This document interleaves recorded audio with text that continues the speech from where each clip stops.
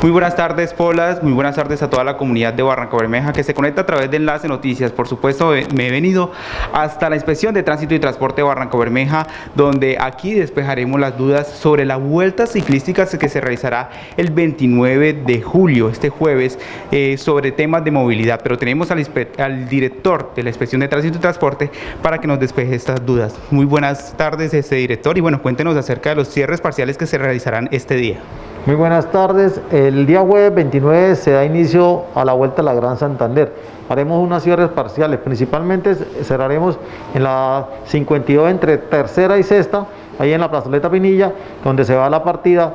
Y a partir de las 8 y cuarto, 8 y media, arrancará la etapa y entonces se harán cierres parciales en todas las 52 occidente oriente, por toda la principal, por toda la mitad y parten hacia la 28. Entonces les pedimos a la comunidad de Barranca Bermeja que salgan a disfrutar este, este evento deportivo y que a los que tengan de pronto mucho alguna emergencia, por favor coger vías alternas y que disfrutemos este evento deportivo. ¿Cuáles son las recomendaciones a las personas que salen de su casa a trabajar sobre qué cogen siempre estas vías de, este, de estas principales? Importante por salir temprano, salir temprano porque el cierre se va a dar después de las 8 de la mañana, esos cierres se darán por ahí aproximadamente 40 45 minutos, es salir temprano para poder pasar antes de que se haga el cierre.